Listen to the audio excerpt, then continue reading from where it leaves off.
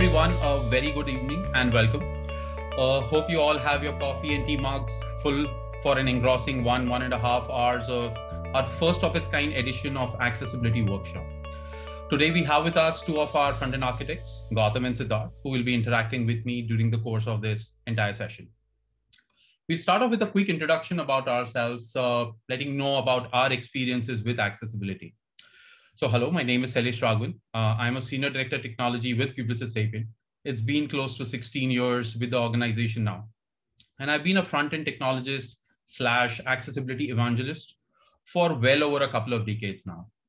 Uh, and my experience with accessibility and the challenges surrounding it started right during my schooling days, uh, where I had a fellow friend who was suffering from polio and had braces on his legs. So every time he had to walk around to different classrooms or go to a different building, it would be a task of its own. With no infrastructure to support, like elevators or ramps, and only stairs to use, we saw him struggle day in, day out with the basic movement in and around the school premises. Now, coming to my college days, uh, I used to assist in writing exams for my visually challenged seniors. And I've been always been around with uh, people with disabilities through my growing years and cut to my professional days. And not so long ago, I had sent out an email for a gaming competition across the org and part of as part of the you know sports council setup that we have. I promptly got a response back from one of my colleagues say, stating that I'm visually challenged and I cannot make any sense of the email that you have sent. That's when I realized that as individuals, how easy it is for us to take things for granted or just assume that what we are doing will cater to one and all. While this journey of accessibility evangelist has been with me for, you know, a little over a couple of decades, like I said, it kind of hit me hard in the very recent past. And I've post that I have written a few blogs, taken a few sessions, and I'm doing my best to you know pass on the message of importance of accessibility to one and all. Uh, that's about me. I'll probably hand over to Sid, and Sid, if you can share your experience and journey with accessibility, uh, and we can move on from there. So, what do you say? Thank you. Thanks, Sailesh. Uh, good evening, everyone. I hope everyone is safe and sound and have joined this session from the comfort of your homes. I am Siddharth. Uh, I have been part of this wonderful organization for close to six years now. I am currently working as a front-end architect, contributing to projects in retail and hospitality space. It it really warms me to see so many people interested in this topic, and me being able to share my journey around how I started uh, realizing the importance of accessibility out in the real world. So I'm really happy. Uh, personally, I have been lucky enough to have mentors and peers who kept on encouraging me right from my initial days to inculcate accessibility in my day to day workflow. And looking at the positive impact it has on people's lives out there, it was not a hard habit to develop. Uh, but there is this one story which never fails to inspire me. You know, you know, it kicks in that instant motivation within me, and I would love to share that with everyone here, and hope it has the same positive impact as it had on me. Um, I heard this story from my aunt, who is a systems architect in the US. So she hmm. has a friend who is an accessibility advocate, and due to a spinal injury in her childhood, uh, she was a wheelchair user herself. Mm-hmm. So one fine day, she returned from the court triumphant in an accessibility lawsuit, uh, which she filed against some big organization there. Mm-hmm. Uh, but despite the win, she was not that happy. Um, she seemed pretty awful. So my aunt inquired on why she seemed upset despite winning the case. She said that on her way to the court, she was waiting at a bus stop for transport to arrive. Mm-hmm. Uh, the first bus arrived, and the driver said that he didn't. Uh, he was already running late. He was behind the schedule, so he could not pick her up. Hmm. Okay. Uh, the next bus came in, but there was no ramp in it, so she had to skip that as well then the third bus came in uh, and the driver said that he was new and he didn't have much info on how to use the ramp. So she had to skip the third one as well. Now it was almost close to an hour since this entire uh, situation started. Uh, there were some kids nearby playing uh, who were noticing her plight of not being able to board the bus. So let me take a quick three second pause here for everyone to ponder upon what might have happened next. Just have a quick thought around it Hmm. Well, Sid, the way I look at it, if there were kids playing, they've seen her struggle for the last one hour. Probably they would have helped her get into the bus no matter what, whenever the next bus came, or probably dropped her to where she wanted to go herself. I was I was personally hoping for that as well, Sailesh, that I would get to hear that statement. Uh-huh. But what I heard next, I was literally not prepared for that. And to my horror, that lady was mugged by those kids in the broad daylight. Wow. Okay so i was i was speechless and i could literally feel a chill down my spine after hearing that. Even now i i don't have enough words to describe this entire situation further. But then my aunt's friend told her something very simple yet super powerful. So our community the web community that we are so proud to be part of is the only space where we can people where we can enable people with disabilities or impairments to have accessible environments so to hmm. elaborate further on this, there is nobody stopping us from writing or designing our work in an accessibility friendly manner. Yeah. But if you want to implement such solutions in the real life out there, like public places, parking spots, hotels, private places, anything as in out there, anywhere, it's just not that simple. You have numerous challenges and hurdles uh, which might come up, like cost related issues, timing issues, permissions, mm. and number of hurdles which might come up so that that but we have a free hand to help people go through pleasant and meaningful experiences.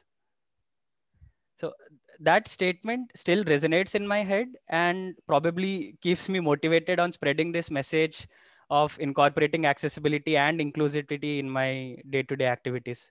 So that is one incident which keeps me going always. So wow. yeah Right. Thanks, Siddharth. That is actually a very, very powerful story. And it kind of also brings a very different side in perspective of humans, right? True. Uh, in one place, we want to help go do everything possible to help individuals. Uh, on the other place, we find an advantage spot and we kind of mug individuals, right? And right. I guess, like you said, you know, as developers, uh, if you are building applications which are not accessible, I mean, uh, sounding crude, but we could equate ourselves to muggers, right?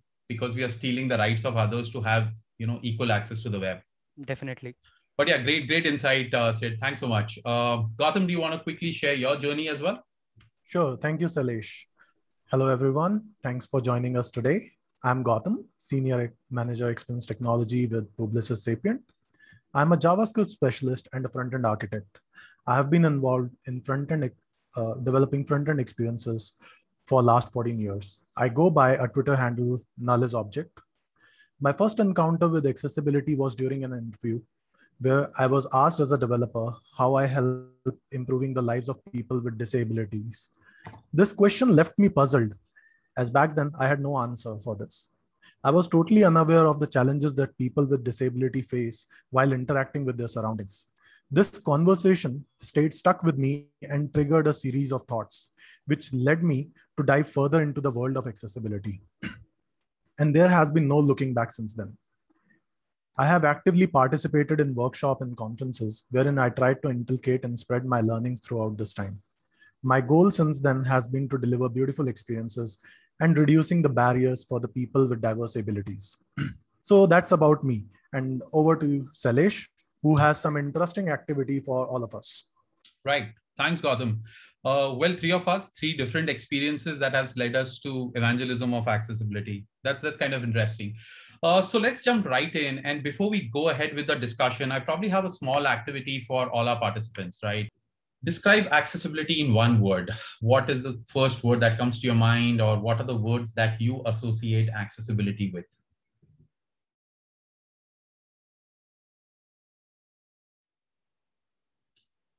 All right? We have some really technical users experiencing POUR, poor and stuff like that, easy to approach, equality, all right, inclusion, okay, approachability, super. So yeah, ease of use is what is standing out. That's actually pretty interesting, okay? Right. Inclusion, available for all, able to reach, Hmm. Yeah, we are we're kind of getting closer to the textbook definition of what accessibility is. So that's that's actually going to help us uh, with our next few slides as we get into the conversation and you know mm. kind of also bring in the mindset of how accessibility is perceived or what we understand of accessibility and how it really translates out right so but these are these are all fantastic words all right let's get to the next one um okay we'll probably wait for 20 seconds more. Let's hit the 200 benchmark. Uh, like a good number for now. But it feels really good to see all those nice sounding words on the screen right? Yeah i mean that's those are the words we resonate with so well right? Yeah. so yeah. actually nice. Yeah. So this is the next question. Uh, if you do test for accessibility of these what do you use? Or if you're completely new to accessibility i am hoping i don't get what are you talking about as one of the answers um, ah damn okay but that's nice there you right. I'm hoping people, we have enough for everybody to take away from this session then.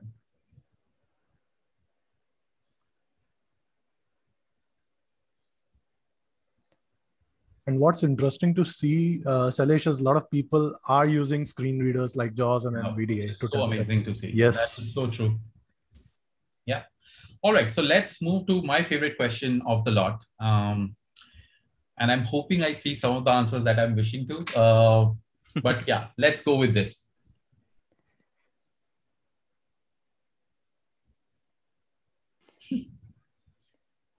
Oh wow! Oh, you have. This is, oh, this is super happy. right. right. All right. I'm just hoping I see one more percentage go up in the rest of the three, and then we'll move on. for my own selfish reasons there.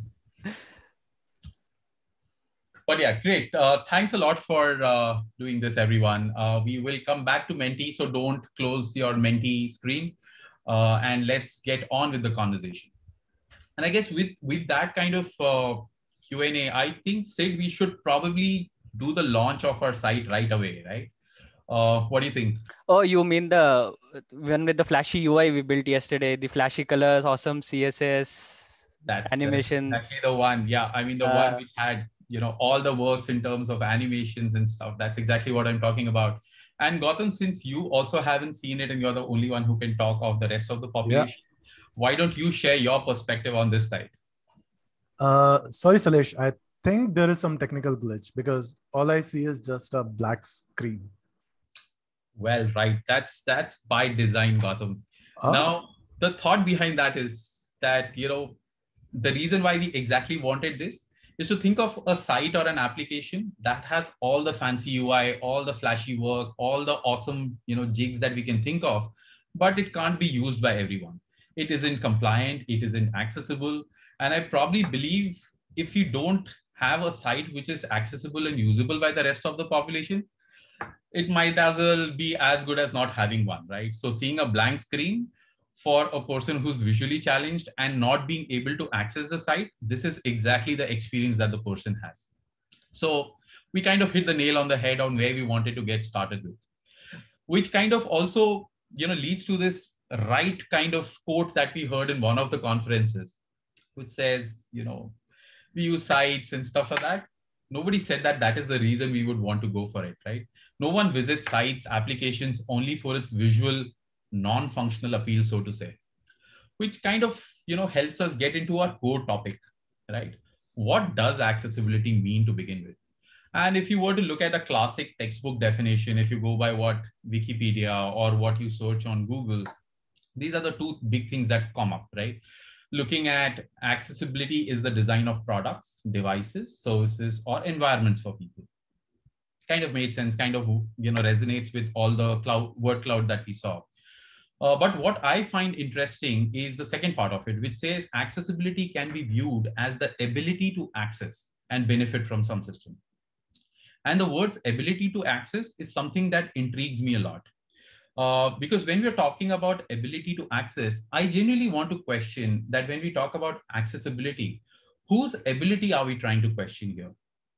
Is it the ability of the person trying to access an environment or are we questioning the ability of the person trying to provide that environment for somebody to access right slight difference in the meanings of the two Uh, to explain better, let's look at a use case, right? Uh, let's say the exercise that we'll want to try and run is I need to go from point A to point B. The easiest way to go through that is to catch a train, right? And we we look at this, right? We get to the platform, we get on the train, we get to our destination, get off it, right? People can walk in, wheelchair people have ramp to get into. It is a perfect use case. Nobody's talking about accessibility. Nobody's talking about challenges. It's a simple use case. There's a train. People want to travel. People are traveling, right? Now, suddenly, what changes in this entire ecosystem? Let's look at the second part of the problem. We have, if you look in the first left, we have a you know elderly person trying to get down and struggling with it because the height of the you know the train entrance and the platform is pretty big. So the person struggles. The on the right what you see is the gap between the door and the platform is pretty huge. So the person on the wheelchair is trying to figure out how do i get in. The one in the middle although it says the compartment is designed for the disabled there is no ramp for the person to get in. So the person is struggling and figuring out how do i even enter right? So what is fundamentally difference between the two? It is the same people. It, you know with the first example the people could enter. In the second example people can't enter. And suddenly the label of being disabled is being put on the people who are trying to access it. Whereas the people are the same what has changed is the environment around them. So why do we label people as disabled and not the environment? Right? On similar lines um, again you know one of the conferences i heard this other debate which i kind of you know perfectly resonated with.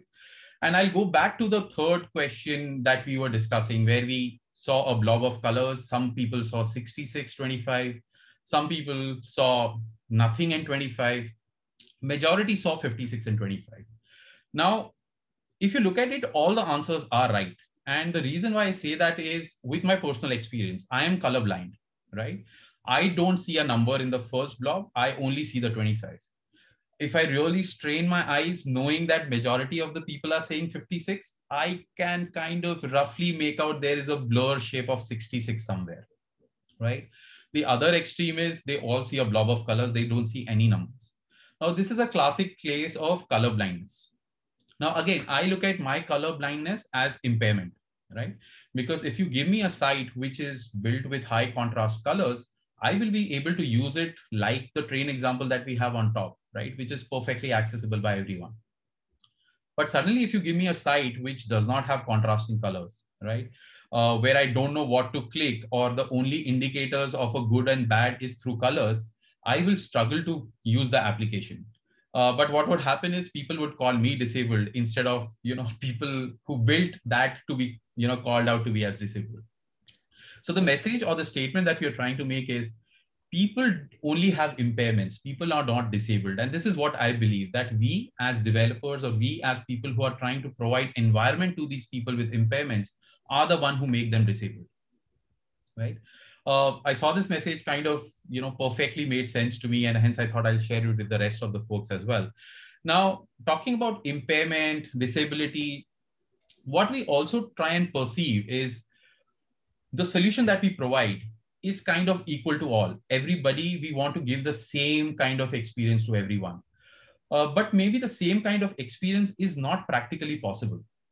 Let's let's look at another example, right? Um, let's look at the first case where what we are trying to do is provide cycles to everyone to go from point A to point B. So we buy four cycles, exactly the same height, exactly the four, same dimensions, give it to four different people. Now, if you look at what's happening here, right, the first person is a small kid and he is struggling to get even to the pedal. So he can't ride the bike. The third person is really tall and he's struggling to, you know, pedal the bike as well because his legs are getting stuck. The one on the left is on a wheelchair, can't even move, can't even get on the cycle. So being equal is not necessarily the solution to, you know, accessibility or being right to everyone. What we are looking at is having equity which basically says you need to identify a solution that is more tailor-made for the kind of people that are available or kind of people that are trying to use a particular service right? The intent here is going from point a to point b not going on a cycle. So we need to understand what are we trying to solve not what are we trying to solve it with. And that kind of you know hidden message is where all the answers are and kind of you know i've been going on and on for a while so i'll probably bring you in sid and uh, you know since we were talking about comparison of words uh, one of the things that we discussed in the last couple of days was around compliance versus accessibility mm. uh, why don't you right. step in and share your thoughts around you know these two words to be honest Sailesh, this is one of the biggest myths out there and a tricky one to address as well because compliance and accessibility are two words which people often confuse to be the same. That is usually the case as in we have yeah. seen it in past as well. So let's try to debunk this myth using the image which we see on our screens right now. Yeah. So the idea of having ramps in public places where we have long stairways and stuff is a much needed one and a welcome one for that. As in people will love to have this. Uh, so Sailesh, personally what do you think of this design? Uh, I think it's better than having only stairs. Uh, at least the person has thought of the compliance that you know giving all the stairs you are basically not letting people with wheelchairs get on it. So there is some thought got into it gone into it. So it's compliant. Yeah i don't know about accessibility but yeah at least it looks compliant to me. Almost there. Yeah. but if you observe closely there are some obvious flaws as well there. Mm-hmm. so the first and foremost one which is pretty evident is that there is no railing going along your ramp pathway Oh, yeah. Okay. Right. And second, if you observe, the inclination of the ramp is also too steep for an independent wheelchair user to go up the ramp. So if the person gets tired midway, then he or she will come rolling down the ramp. Yeah. So one misstep on the ramp and it causes you more harm than benefit. Right. So what we get from this is that design wise on paper, this might be a compliant one with all the accessible standards but in reality this is not accessible. Mm. so on the same lines i recall an incident as well. So around 3 to 4 years back uh, i was working with a client from the hospitality space. So we were in charge of revamping their entire web experience. And also we had a very specific requirement of the website to be aa compliant I still remember after completing all the development work, we ran the website through Lighthouse, Wave Tool, HTML Validator, Linter. I don't even recall some of the tool names now. And we got excellent scores to back us up also. Hmm. But to our surprise, when uh, we saw a huge number of defects being logged once the UAT phase, the user acceptance test phase was completed by the client Hmm. So we researched further. We dug deep as to what were all these defects about. We had uh, excellent scores. We were AA compliant. What went wrong? So mm. that's when we found out that all the defects were around your screen readers and tabbing order of the elements on the page. that is something which we didn't even think of. So the defects were around like screen reader not reading the elements inside a pop-up window, uh, users not able to tab through your custom drop-down elements, uh, checkbox labels are not being read by the screen reader. Hmm. or the users were not able to select dates from our range picker using the keyboard. So these are just few of them that i recall on top of my head but yeah these were few. And hmm. by the time we had fixed all those defects we had learned a very important life lesson. And that was all these automated tools present out there which certify whether your website or app is accessible or not they do not paint the actual picture. That's true. It just tells you whether you are on the right path or not probably the first step towards building an accessible experience. That's mm. it. So that is the reason we keep emphasizing on the fact that accessibility involves proper harmony between three things. So it all starts with design mm-hmm. then comes the code or execution part of it and finally, the content of your app is what ties everything together. Only when all these three aspects are properly thought out and executed in tandem with each other, we can dream of achieving a truly accessible and inclusive experience. Well, yeah, that's that's so rightly put. And in fact, I resonate with this slide so much. Uh, you know, I've been, you know, in my past few conferences talking about these three uh, importance of these three steps uh, because needless to say, now that we've spoken about color blindness, you know, that's one of the important aspects that the design team brings in. Hmm. Uh, plus, what it also brings in is, uh, you know, the subtlety of creating components or the subtlety of creating form with, you know, native elements rather than trying to create custom ones. right. and making it difficult for people to you know create an accessible environment for others right True. content for me is one of the biggest pains right i mean when we look at compliance when we look at checking the alt tag that is what most tools check and if you have the alt tag you know they'll say that you are brilliant you have a score of 100 not realizing what you've put inside the alt tag does not have any relevance what with what it actually denotes so what it can check for is code compliance, not necessarily the content compliance. This only comes with you know real testing, right? True, and true. the classic example is also when we look at an e-commerce, you know, a product landing page, you have your classic buy now button, right? And you know, every time I use a screen reader, all I hear is buy now, buy now, buy now, not realizing what am I buying to begin with, right? there is no correlation between the buy now button and the product itself. So right. yeah, I mean, unless all three come together, I don't think you know the entire experience can be called accessible. It can be compliant, but clearly not accessible. Exactly. Um, but yes, it, this also brings us to a you know a, a very different point of view where when we go and propose or when we go and have a conversation with our clients or our leads saying accessibility is an important element.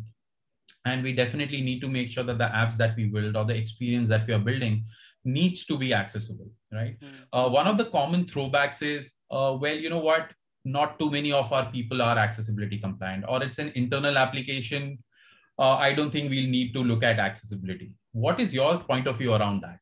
Mm, that's true Sailesh. that happens almost in 99% of the times mm-hmm. so this line here the way i say it it has become more of a mindset than just a simple statement or a fact mm.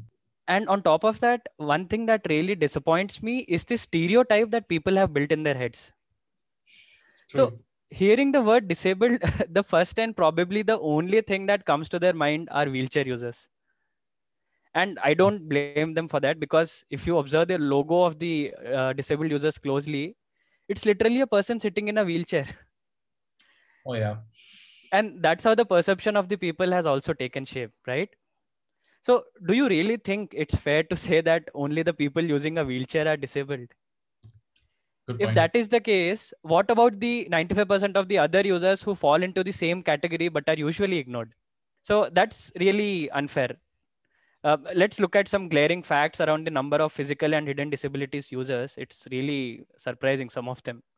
Oh, yeah, some actually equate the size of few nations, right? Uh, yeah, actually. Compared to the entire European Union, some get compared to Brazil, some twice as big as Canada. So, right. Okay.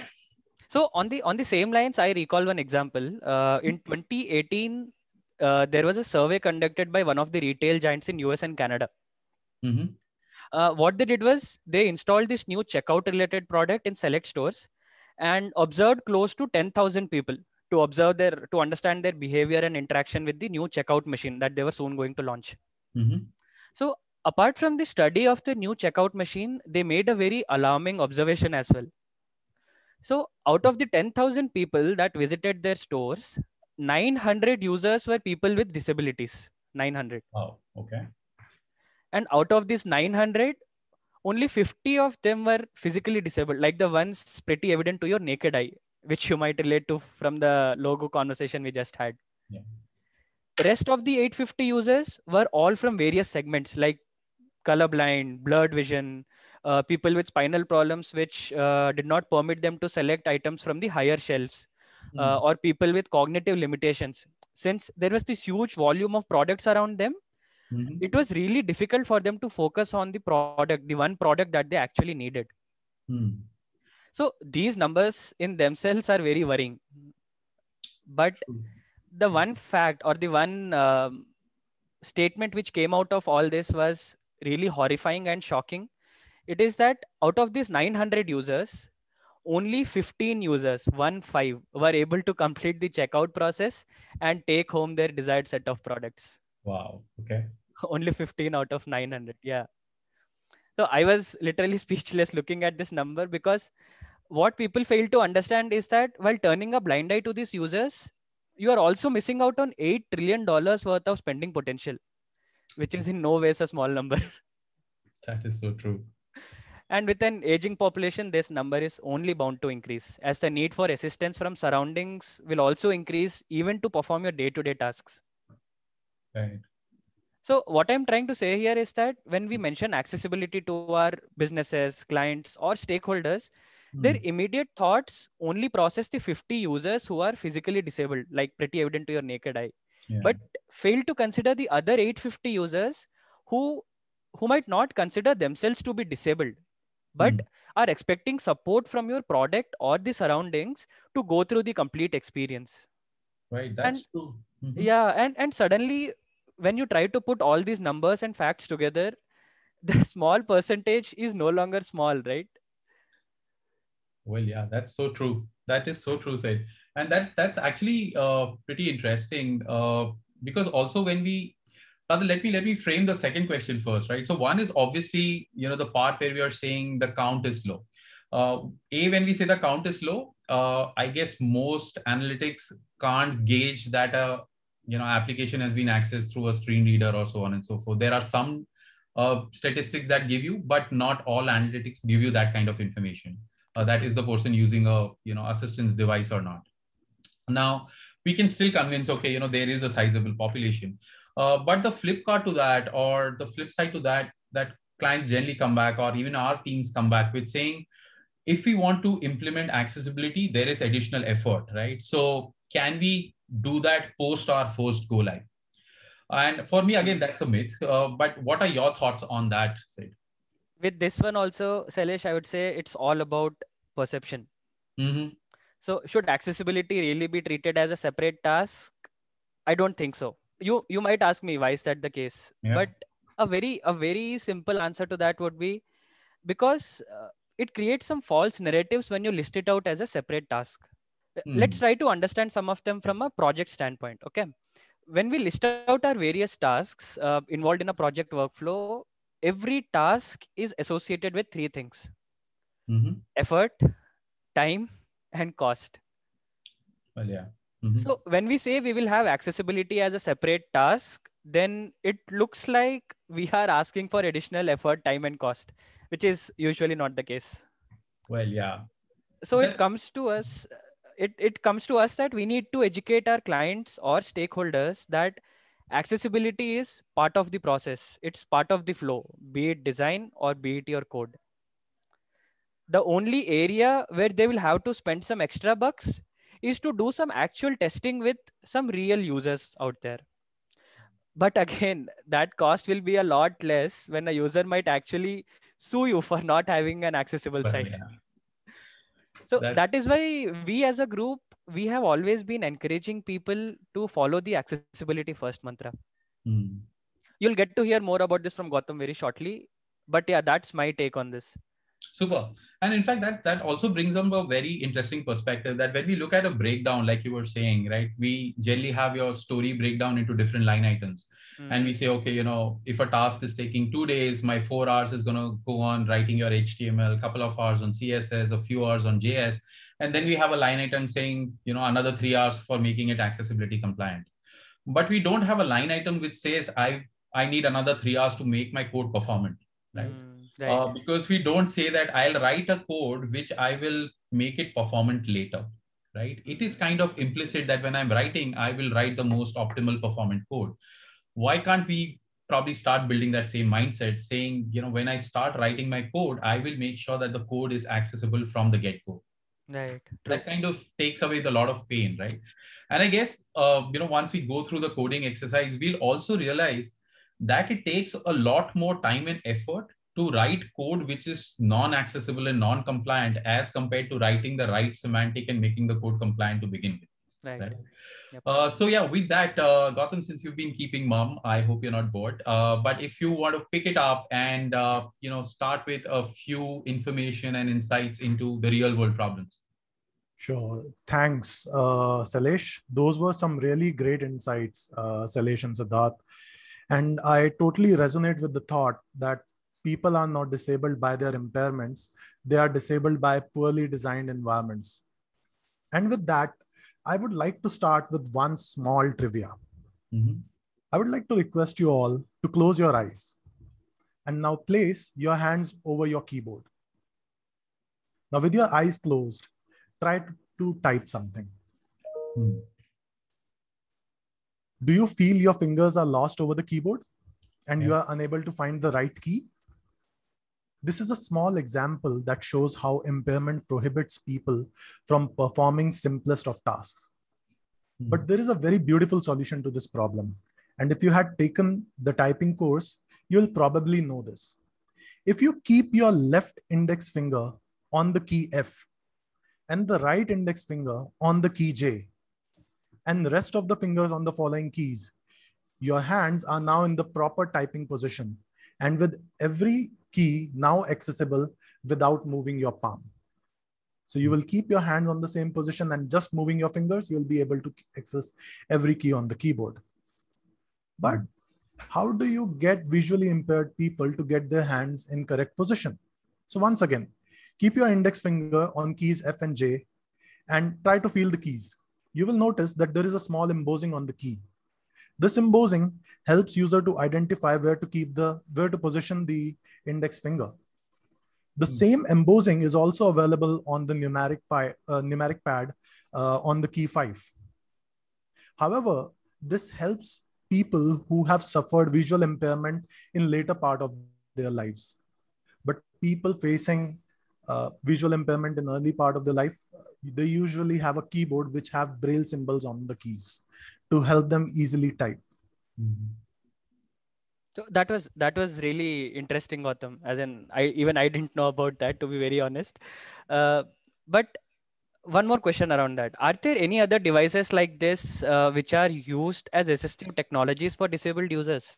I, can, I can take that, Gautam. Um, and in fact, uh, so Yes, there are quite a few, and quite a few very interesting one. Not many people have seen it or experienced it because it's not widely available. It's it's generally for you know specific use cases. Uh, so let me share these four images and say, what's what's your take? How many of you have seen have you seen or experienced with? Mm, I think I have only seen the second one, Yeah. and I think it's a braille display. A braille I'm not display, it looks like. Yeah, sir.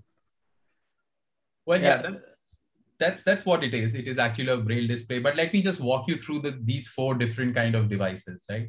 Uh, the one on your left uh, that you see is a keyboard designed specifically for people who only use one hand for typing. Now, these could be people which who have partial paralysis, can't have one limb functional.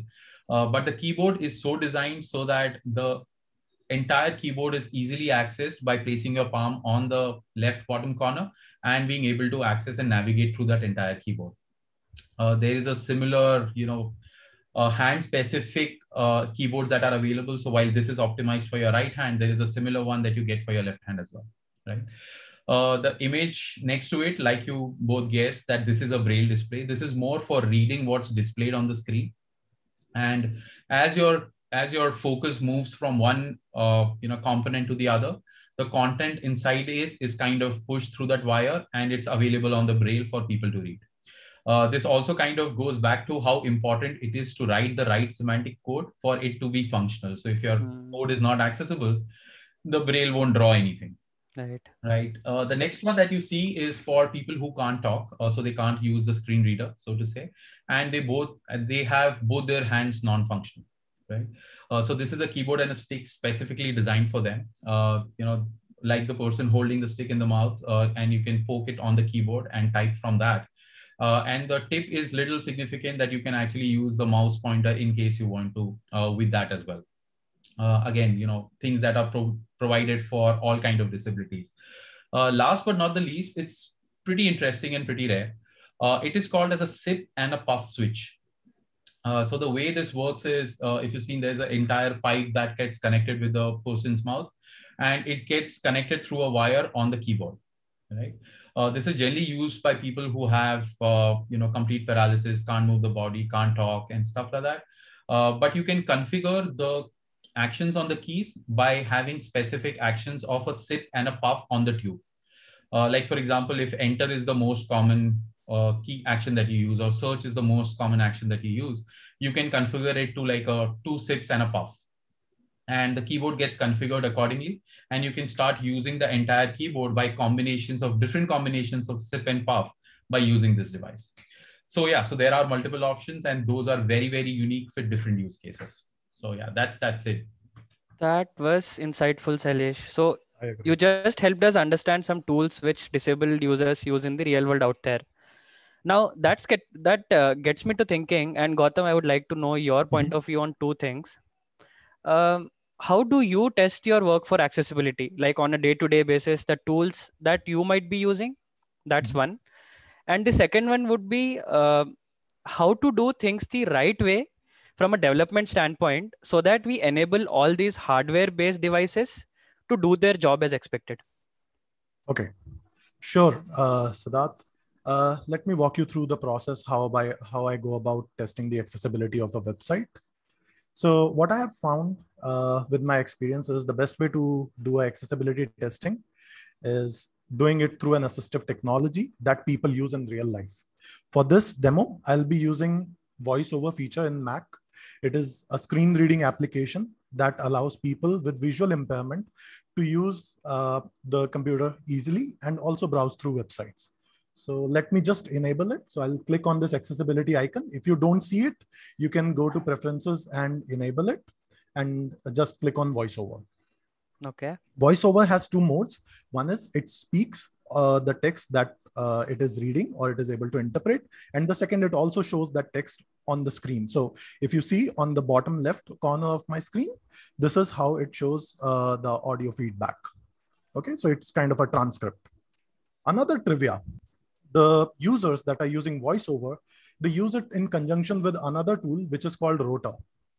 So Rotor is able to scan through the accessibility tree of a website, hmm. which we'll cover in some time, and is able to interpret important sections and other navigational information through the semantic tags and provides ease of access to the site.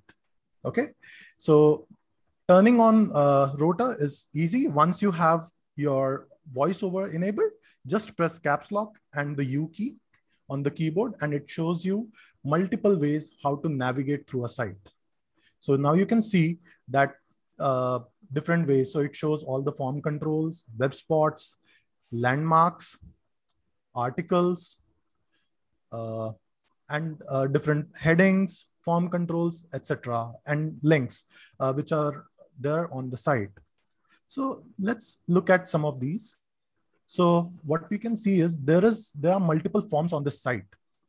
And some of these forms are not even in the visible zone, but because it's traversing through the accessibility tree, which is again similar to DOM tree, but it is created by parsing the semantic information. And through that, uh, Rotor is able to figure out that there are different form elements. And we see that there is a form uh, somewhere on this page to subscribe to a newsletter. Had I been uh, using a keyboard, I would have to tap through and listen through all the sections in the feed in the page and reach that form. But using the rotor, I'm easily able to see that there is this form and I can go and easily subscribe it. So I'll hit enter and it will take me directly to that form.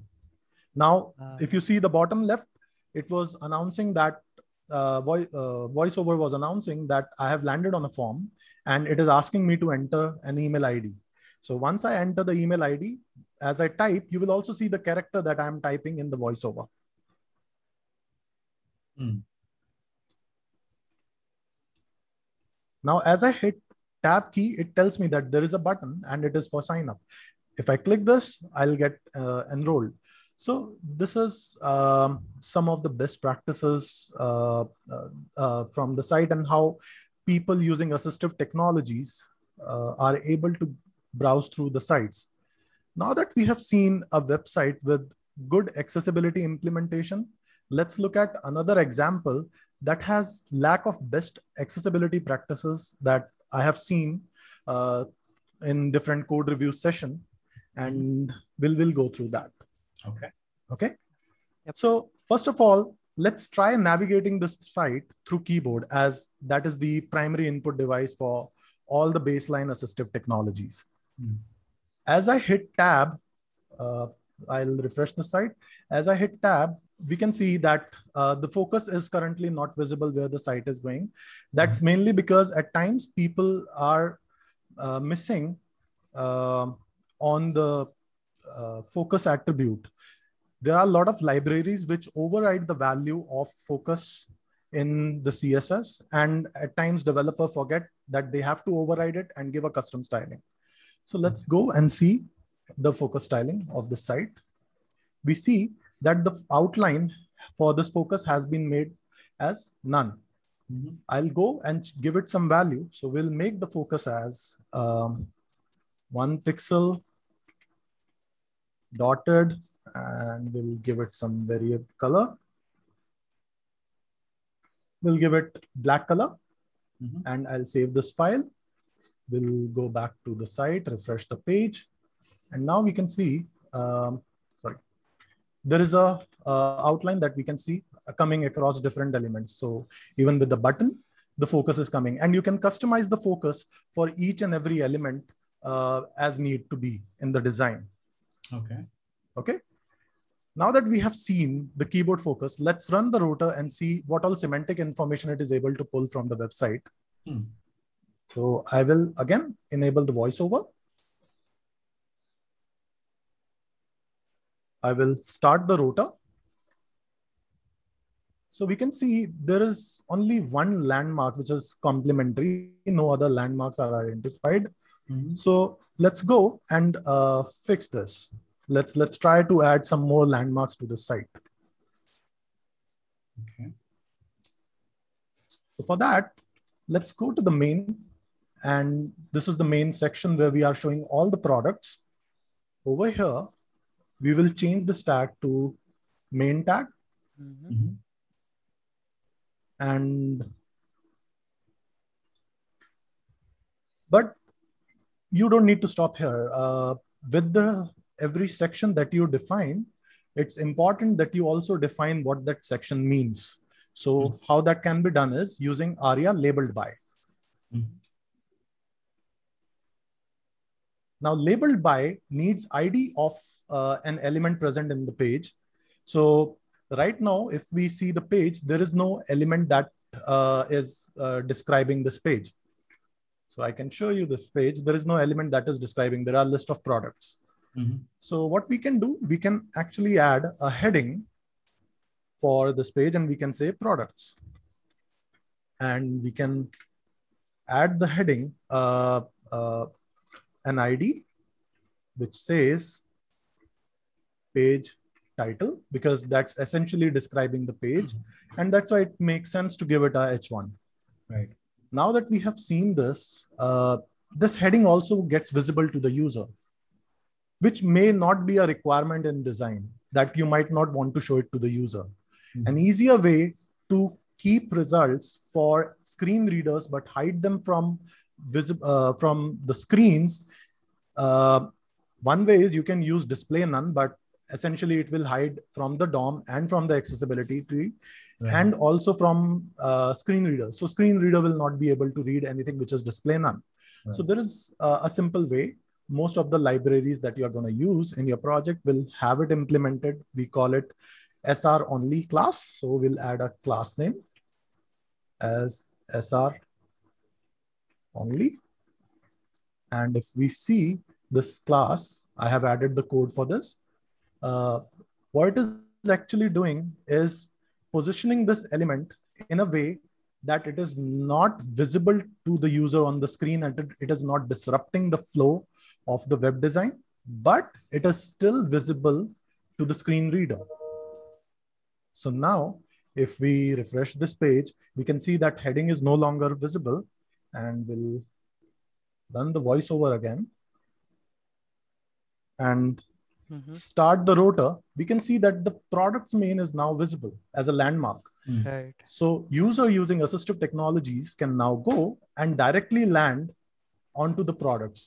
So this helps them identify different sections on the site. And you, if you have multiple sections, you can give use it with aside, you can use it with header, with footer. It's a very good practice and helps all the uh, users using advanced features of uh, screen readers. Now, let's look at the navigation text and uh, let's let's try to fix that. So right now we are not seeing navigation also. So we'll look at another example. So similarly, on the navigation, we are not using any semantic tag. Mm. We are just using a div. So I'll replace this with nav. And nav essentially is a block level element. It, it works just like a div in your rendering flow, but it has some semantic meanings to it. Mm. Now, uh, the other thing is while building navigations, if you just put anchor tags inside a nav, for some screen readers, they give advanced functionalities like uh, uh, which they run on UL LI elements where they allow you to count the navigation links that are there and skip them that will not be available. So better way of designing a navigation is to have a UL LI element wrapped to it. So we'll just do it. So we'll just put a UL. I will just cut this, put it at the end, and I will put an LI, put this uh, LI in the end, and I'll move the key part from here to inside the LI. And we'll see um, this navigation over here. And we'll also add uh, a heading for it. So maybe I can add a H2 uh, main navigation. And I can say that it has an ID of uh, main nav. And I will again put aria described uh, labeled by uh, main nav. And again this text got visible so we missed adding screen reader only class. So we'll say class name sr only. And now we'll again enable voiceover run the rotor, and we see that the main navigation is now visible. Mm.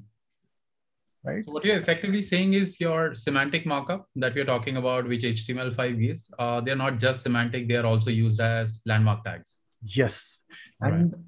and we can see. Uh, we'll just explore in few minutes in accessibility tree how those semantic tags translate to. Mm-hmm. Right because web was accessible even before those these semantic tags comes in these semantic tags actually came in just to improve uh, the web accessibility. Got it. Okay. So now let's let's look at the rotor again. Let's try to see what all links can we see on the site and what all areas do we see.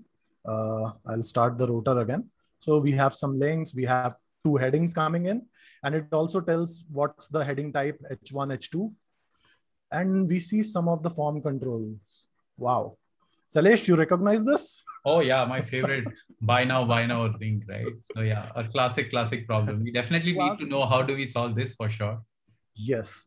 And this is not the best part yet. Okay. Best part is when I'll show you the code. Uh, so this is again one of the examples where we talked about people overcomplicating the accessibility implementation. So again, these buttons are accessible. You see, uh, at least uh, to a screen reader user, these buttons are visible. They can tap through, hit enter, access them. But still there is some uh, uh way how it has been implemented is very chaotic. Let me show you that. Mm -hmm. Okay, so this is the code that you have to write to make an accessible buy now button because we are not using the semantic tag there is for building a button. Now, what it is trying to do is because we created it using a div and a button needs to be keyboard focusable, uh, we have added a tab index. Now, because screen reader needs to know that it is a button, we have added a role of button. All the buttons are accessible on the keyboard input of enter and space. We have added uh, a key down event to capture that. And we also need to manage the click event. So we have added a click event as well. So all this code just to create a simple button. And this is the reason why people feel that building accessible components is difficult. And you will see similar markups coming up if you try to build custom elements, especially select box. I've seen a lot of people building custom select box, right, Sailesh? Mm-hmm. Oh, yeah. Many and writing such elaborate fancy code just to get the basic thing done. Yeah. And and you will never get the complete accessibility requirement done for it. So true. Yeah. So it's always simple and easy to go with the semantic tags rather than going with custom functionality as this also improves lives for people who are using assistive technology so we'll just fix this problem so all this code that i have selected i'll remove it i'll put button tag and uh, just before I remove everything, I'll, I'll show you the accessibility tree right now so that you are able to see the difference that it brings. Mm-hmm. So I'll put uh, inspect element. So when you inspect an element, just in the uh, this sec secondary navigation, you will see an option for accessibility. See again, this is also not prioritizing accessibility. okay, so over here, there is an accessibility tree that we can see for this site. Yeah. Now, right now, because we are focused on the button, it is showing me all the details of the button, but we can see the entire accessibility tree of the site. I'll collapse everything else and we'll see in more yeah. detail. If you could probably zoom in a little more. Sure. Yeah, this helps. Yes, yes. Okay. Now we are able to see that there are different sections that we identified. Now, because this was a div, it was identified as generic but mm. we added a navigation tag inside it. So we see in computation, it says that role is navigation. Mm. Had I not used the nav tag, I had to manually go and add role as nav. Yeah. And then it is able to detect the label for it through label by. And you can see in the name that the label that it will read for it is main navigation. Right. And uh, uh, again, it has a heading, it has a list, right? Even though the heading was hidden uh, from the users, it's still coming here. And um, and this is this is how it is uh, uh, made for different users. And now let's come back to the button that we were talking about. Let's see what all uh, ARIA properties are defined for it. I'll collapse the tree. So we have role button. Mm -hmm we have focusable true, the uh, tab index that we had put on the div that made it uh, focusable true. And we got the content through what was whatever the content was present inside that div. The text node was able to provide us the content. Right. Now let's go back and fix this. And we'll just change all of this code to simply a button. And to that issue, Sailesh, where we saw uh, just buy now buttons, we wanted to mm-hmm. see the product name as well. I'll add the product name as well. Mm. So, okay. styles, uh, sorry, uh, it is product dot name. Mm-hmm. But this will be visible to everyone. Yeah. I don't want it to be visible to everyone. So what I'm gonna do is I'll wrap it inside SR only class. Nice. Mm-hmm.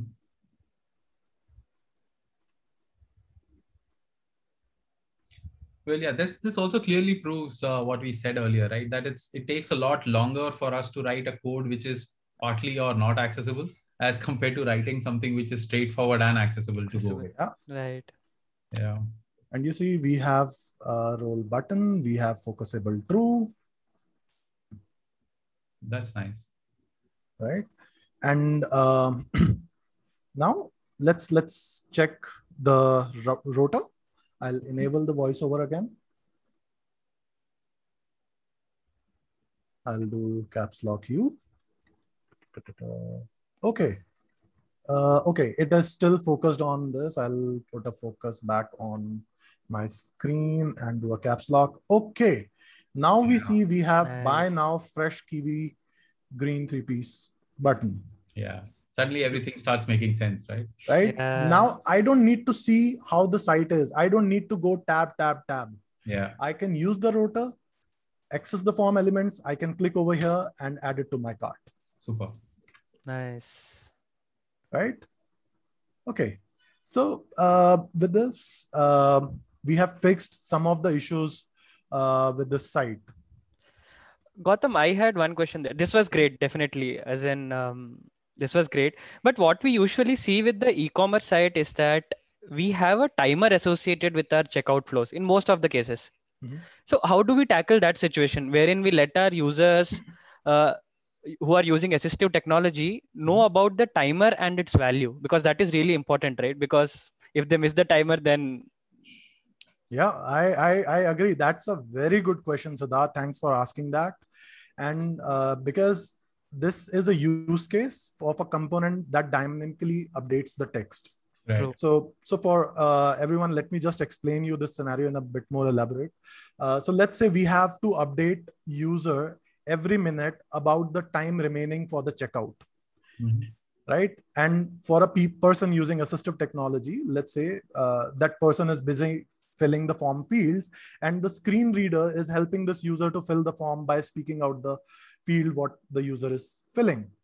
So during that time when the user is not focused on the timer the, the, the keyboard focus is not there on the timer how do we make the screen reader speak the remaining town, time without changing the keyboard focus away from the input field that user is filling right? So that's the actual problem statement. So let's look at an example code that depicts this exact same problem.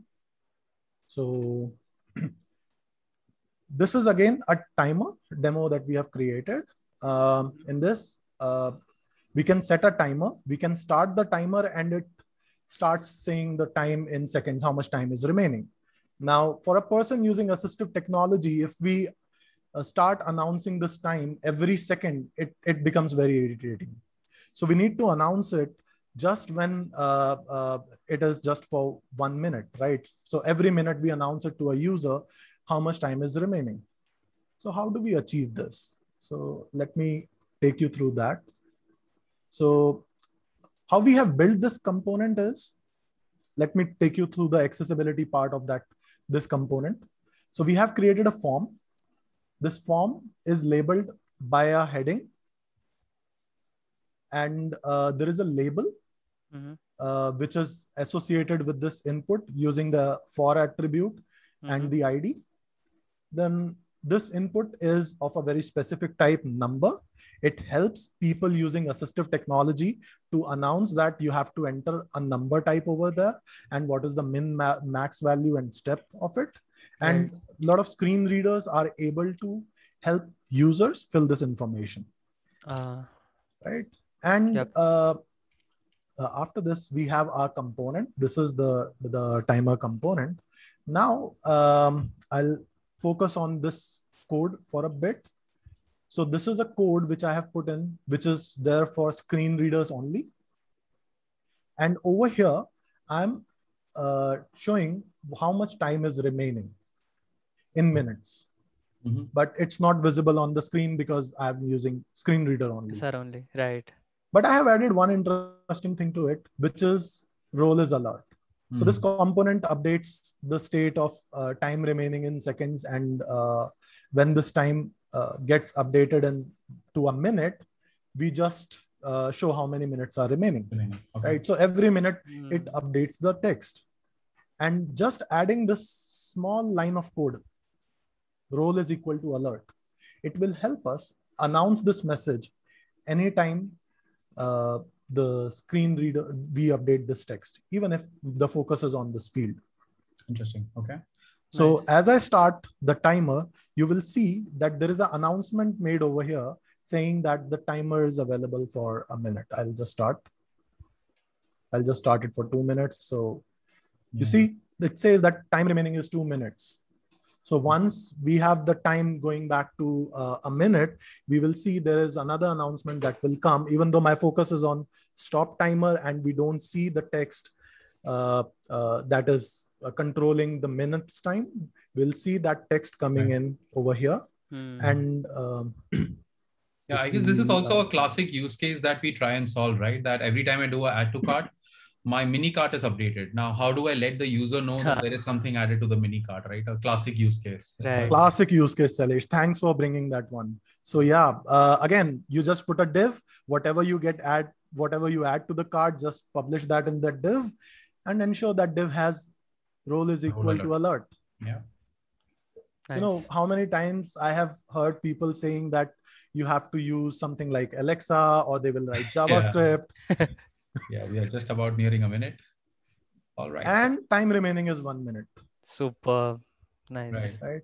So so that's that's how Nice. uh, simple it is to build this feature. Now we'll also look at uh, the semantic part of it. I'll just select um, this SR only di- uh, span, and we'll see what all uh, changes are there. So there is role alert as we Mhm. had put, but there are two additional properties this role adds.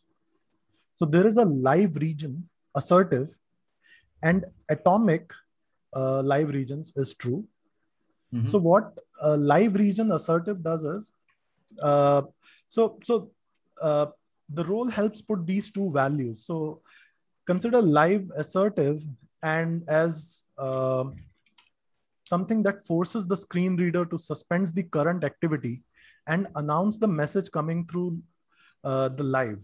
So whatever div or element that you have put in, that message will be announced. So let's say if I was focused on one of the field and screen reader was announcing that, it will stop uh, that announcement and force the new announcement that is coming in to be played to the user.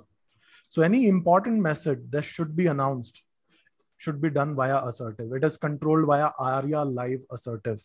Mm, Right. Okay. And let's say we had a scenario where we were fetching some data in the background and we wanted to update the user that data is fetched. In that scenario, a better experience is to let screen reader complete the existing processing. Maybe uh, user is filling a field. Let's let's not disrupt that flow, Hmm. right? Let's announce that once that processing is done, let's let's wait for that announcement for you know that the data is fetched to wait. Hmm. In that case, Yeah. you put ARIA live polite, right? Yeah. And uh, same thing, the atomic is essentially telling that the entire span that you are using is actually is an atomic unit. Super. It's like roles also have mannerisms, right? You go polite well. Exactly, it, it has manners and it will speak the entire thing if uh, you are updating a text because in in our example we were just updating the number but entire text was uh, played to the user Yeah. and that's through aria atomic if let's say we wanted to just update one we would have put uh, you could uh, actually override the value Mhm. of uh, uh, atomic to false in that case it will just play the value that is changing you can see in the dom tree that this is a separate text node Ah, right. so Yeah. only this text node will be updated otherwise the entire structure for the text nodes is is uh, read to the user and if i had to go and build this using javascript it would be a mess. Uh, let's not go there. and then make it accessible. So true. and then make it accessible all right. I think uh, yeah so that's that's for the uh, coding live session part. I hope uh, you liked and got benefited with this live session. Uh, these were few of the example that we discussed today. And maybe in follow-up workshops we can look at building an end-to-end example and uh, try more uh, ways of testing the accessibility maybe on mobile devices etc Definitely. Thanks. Thanks for that insightful session, Gautam. That was there were clearly some aha moments for me there at least. Um, the insights into the semantics or what I will always refer to as landmark tags was equally great actually. Landmark Yeah. tags, that is something which was catchy. As in I didn't know that and that's super, super, super useful. Yeah. So that was probably just a small demo of what one can expect uh, from this series series of uh, workshops. Uh, and I hope people were able to gather some useful tips and tricks from the session, which they can uh, start incorporating in their day-to-day activities. But uh, thinking further on this, Sailesh, what's next? As in uh, processing all this information and trying to incorporate everything right from day one uh, might be a bit daunting task for everyone, right? So, do you have any ideas for us on how to start with this mindset change? Some some ideas or insights around that, maybe? Yeah, in fact, that's that's something that I uh, started a couple of years back. Uh, and see, I mean, what we saw was more the how part of it, right? How do you fix something? How do you get something? Get to something, right? Uh, it's even more important to know what are the challenges that a person goes through. right to try and identify a fix for it right i mean till you use a rotor you would not even know you know there is a possibility like that which we are not providing to the user right so i guess step one is to do it yourself uh, so what i started like i said a couple of years back is following a no mouse thursday right? Uh, which is basically uh, as a conscious choice every thursday i give up using the mouse. I only use the keyboard to navigate the web. Uh, i tried using the voiceover sometime back. It's a lot easier than using the keyboard believe me. Uh, because when you get into sites it's it's so annoying when uh, you know your basic implementation does not get focused right and you are struggling just to figure out how do you navigate uh, another classic issue i ran into was uh, when i was trying to browse through carousels right mm. and there are a lot of implementations which give you a 360 rotating carousel which is like an infinite scroll I, I know if that. You're using a keyboard, yeah, you are stuck inside the carousel because there is no way of coming out after the last yeah. focus on the first one. So right. those real cases only come out when you do it yourself. So my my recommendation would be to try it out. Uh, don't go for a day as a target. It is daunting. Uh, it is super frustrating. So maybe start easy. Start with like spending an hour a day, probably once in a week just so that you get into that habit, inculcate that habit of using only the keyboard. Mm. Uh, that's when you understand the kind of challenges. And then when you are doing development, you naturally start thinking of those use cases and try to fix them upfront.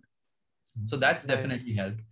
Uh, and then yeah, we obviously have uh, you know these two uh, URLs that are available, which give you a lot more insight. There are certifications that we can do uh, just to understand the dynamics of how accessibility works, how do you do testing, and so on and so forth.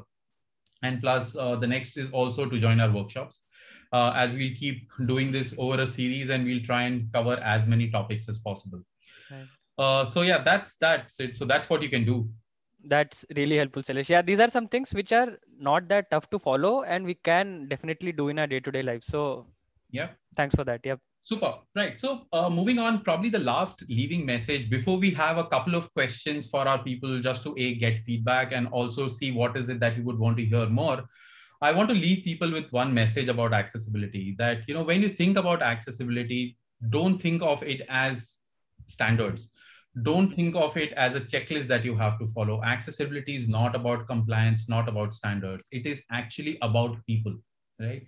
uh, you need to start to empathize you need to start to relate with the kind of challenges that will people will go through with the kind of implementations that you have done and Sailesh, I think there, there is a very interesting interest of people uh, of around using different screen readers. So today, what yeah. we demoed was uh, a voiceover uh, uh feature, which is available in Mac. Right. So you can go and enable it. It's within the settings. It's you don't have to pay anything it's mm-hmm. available out of the box unless you want to cover something around uh, what are the options yeah, for windows sure sure yeah we have uh, and most people use jaws that's the default that people go with uh, and that works very well in tandem with your edge and ie as a browser uh, if you're using Firefox, NVDA kind of goes really well with Firefox, uh, you know, and your Android gives you a talkback. Like we said, iOS and Apple devices give you a voiceover is what you can use.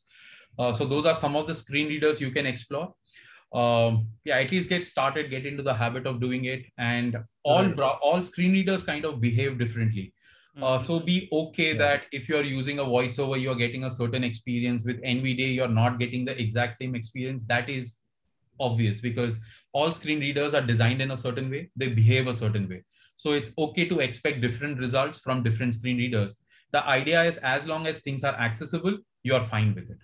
Right? And it's it's mainly about the empathy and the experience that you are giving exactly. to the user.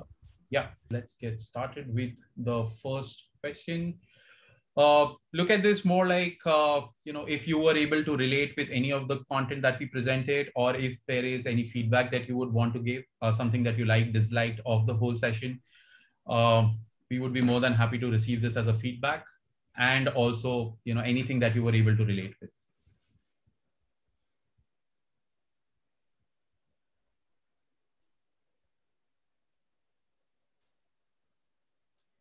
where we can find recordings. Uh, we will publish that out. Um, we will try and check in the code in Git as well.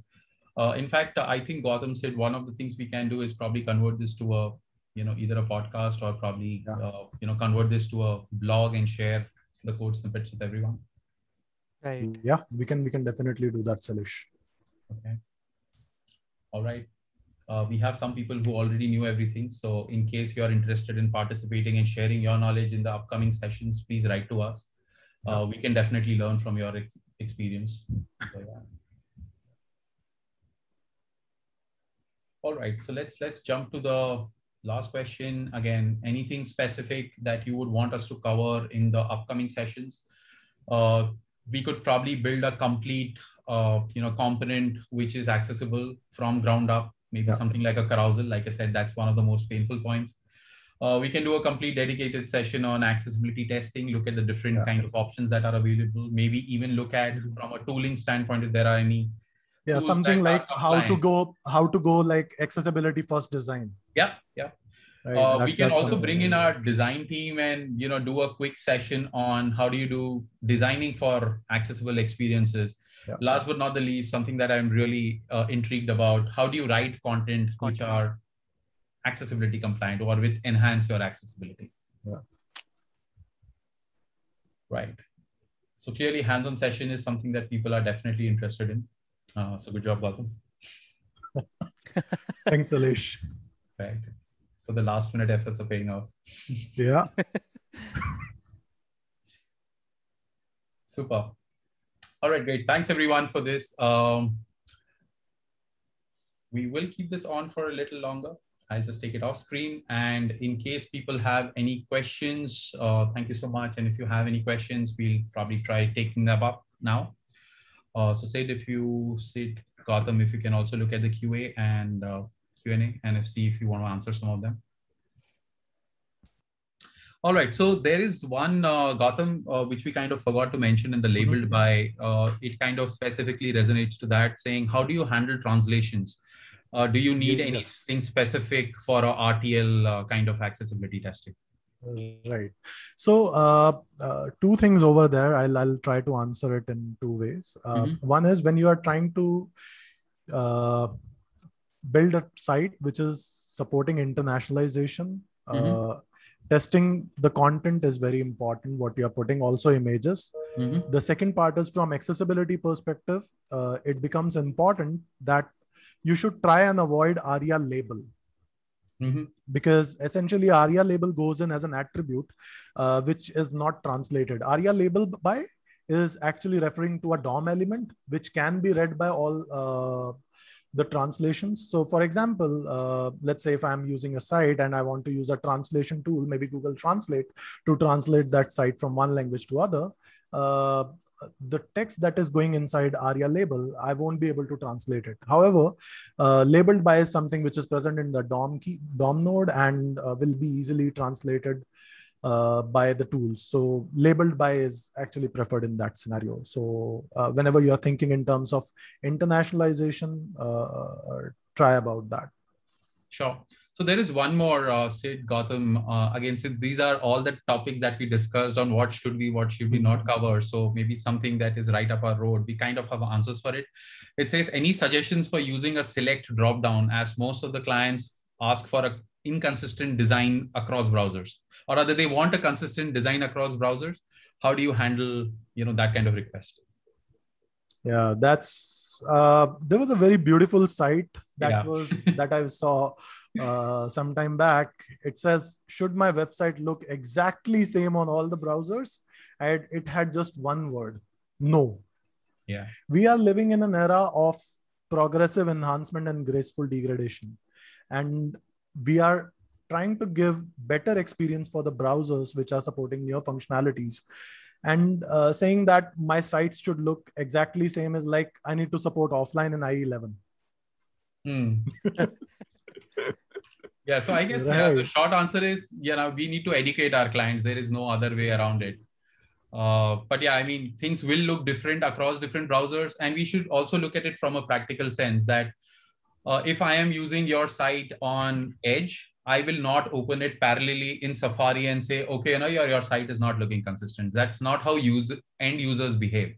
If I am using Safari, I will continue to use Safari. And if there are subtle differences, I will not even know that it's looking different as compared to any other browser because that's not my intent. I'm here to shop. I will shop and I'll leave rather than looking at comparison saying, oh, your site is not pixel perfect. I'll not shop on your site. Yeah. So take it with a pinch of salt, but that's what you need to do. There's one more question. Uh, I don't know if you've covered that. It is what is the use of HTML microdata in context of accessibility? Okay. Uh, microdata was essentially created for uh, search engines to get uh, uh more contextual information from the site, mm-hmm. and um, uh, that's that's the essential main purpose of it. Uh, I would still fall back to using semantic tags and attributes for accessibility because what accessibility is about it's not about getting the context of the site. It's about browsing the site right? How a person will be able to browse a site and uh, gather the information. For a search engine it's still easier to get the information from microdata so uh, again there are a lot of uh, developments going on with different screen readers and they try to update themselves. So maybe there might be a screen reader that will go read about the microdata but how it will pronounce is because you need a way to navigate to it.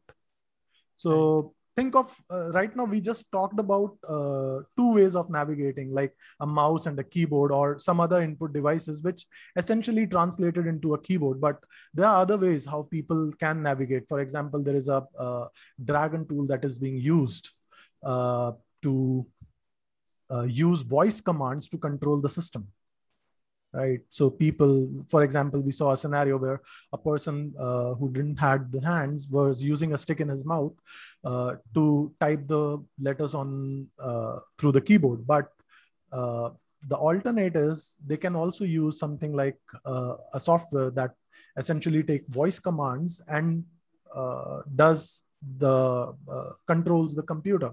Yeah. Correct. Right. So you have actually projected the site that we were referring to, it says, yes. do websites need to look exactly the same in every browser.com? And the only word that it has is no, right? so kind of get the essence from that, right? Uh, so cool. I guess we are pretty much on time. So thank you everyone for joining in. Uh, thank you for all the feedback. Uh, and we will send out invites for the next one. Um, thank you so much again. Thank you, everyone. Thank, thank you. you, everyone.